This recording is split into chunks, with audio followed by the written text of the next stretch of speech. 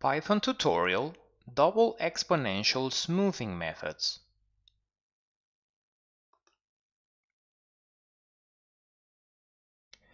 Exponential smoothing methods consist of forecasts based on previous periods data with exponentially decaying influence the older they become. Their notation is ETS, which stands for error, trend, and seasonality, where each can be non, additive, additive damped, multiplicative, or multiplicative damped. This topic is part of forecasting models with Python Curse. Feel free to take a look at Curse curriculum by clicking link at description box below. This tutorial has an educational and informational purpose and doesn't constitute any type of forecasting, business, trading or investment advice. Please read full tutorial disclaimer at the end of this video.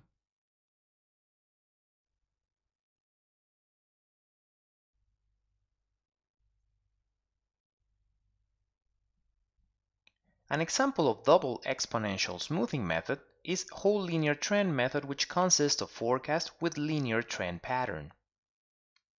For full reference, I recommend that you read Charles Holt, Forecasting Trends and Seasonal by Exponentially Weighted Averages, published by the Office of Naval Research Memorandum in 1957. Its ETS notation is AAN, in which error is additive trend is additive and there is no seasonality. As a formula, current period forecast is equal to previous period's level forecast plus h, which is the number of periods for which we are doing the forecast, multiplied by previous period's trend forecast. Previous period's level forecast is equal to an alpha level smoothing coefficient multiplied by previous period's data plus 1 minus alpha multiplied by second previous period's level forecast plus second previous period's trend forecast. Alpha level smoothing coefficient is a value between 0 and 1.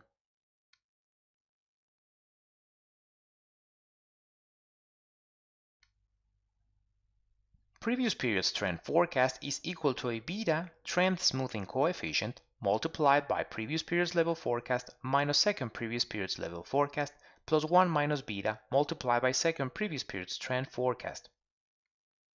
Beta trend smoothing coefficient is a value between 0 and 1. Great, so let's go into Python PyCharm IDE so that we can study Holt linear trend method with greater detail.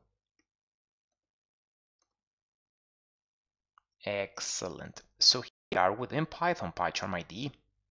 In this tutorial, we'll be working within Python tutorial double exponential smoothing methods code file. The first step within the tutorial is to do packages importing.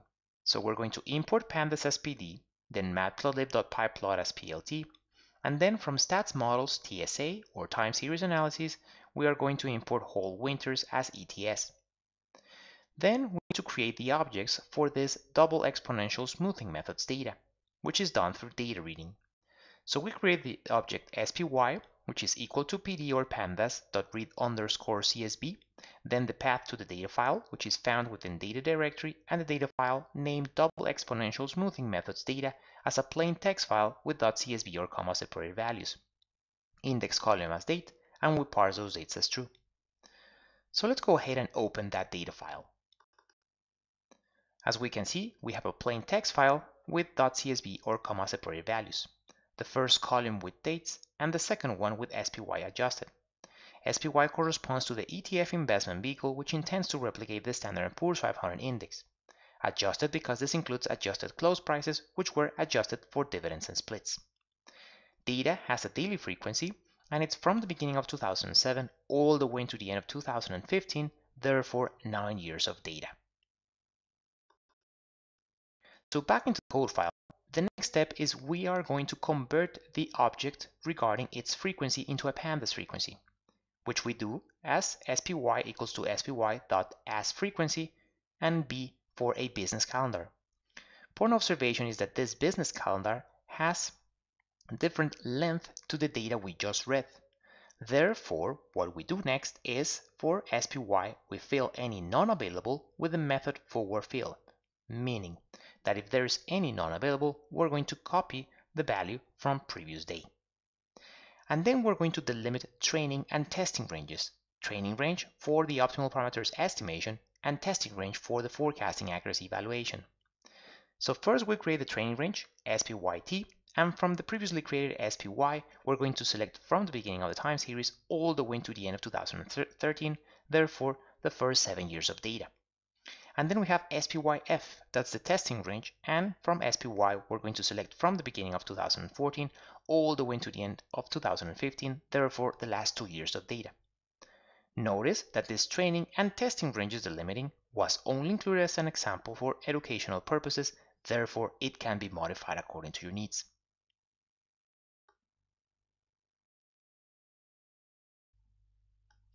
Now that we have the data ready, we can continue with double exponential smoothing methods, specifically with Holt linear trend method and its ETS notation with additive errors, additive trend, no seasonality. So first we'll be doing the estimation of the corresponding method parameters within the training range. So we create this variable, hold t, t for training range, and we'll be using ETS feature from statsmodels, dot exponential smoothing, that's the function, capital E, capital S, and the data we'll be using is SPYT, the training range. Then the specification of the method, trend, additive, damped equals to false, seasonal equals to none, and we fit the corresponding method. And the next step is to do the forecast. We're going to name it hold FF for that testing range, and from the previously estimated hold T, and again T for training range, we're going to forecast, and what we're doing here is a multi-step forecast. This multi-step forecast is done at the beginning of the testing range for the full testing range in advance without using any testing range data. Therefore, we specify the number of steps for which we want to do this multi-step forecast, which is the length of the testing range, SPYF.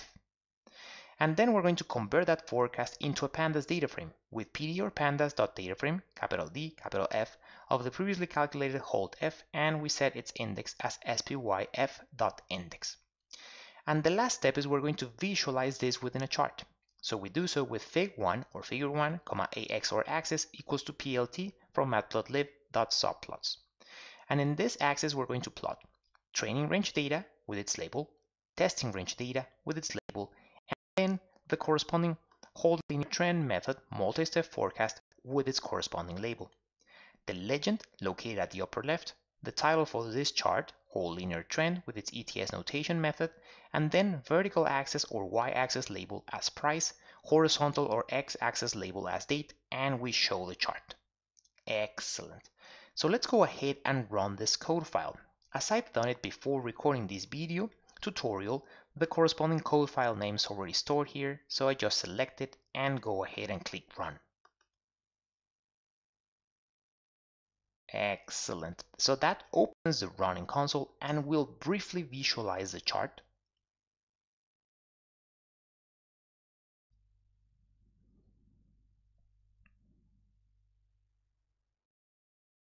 So here we have Holt linear trend with its ETS notation, additive error, additive trend, no seasonality, the corresponding method, vertical axis price, horizontal one dates.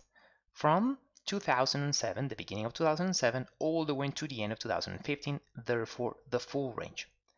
Colored in blue, and according to the legend, that's the training range where we did the corresponding optimal parameters of Holt linear trend method.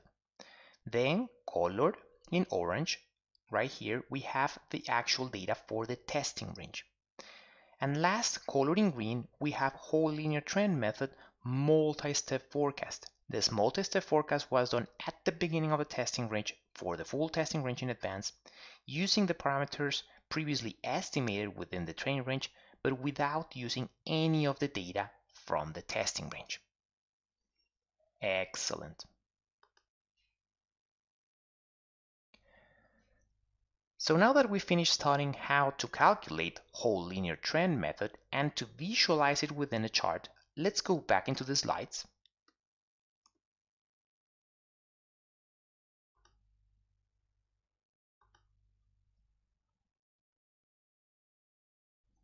And as mentioned previously, this tutorial has an educational and informational purpose and doesn't constitute any type of forecasting, business, trading, or investment advice.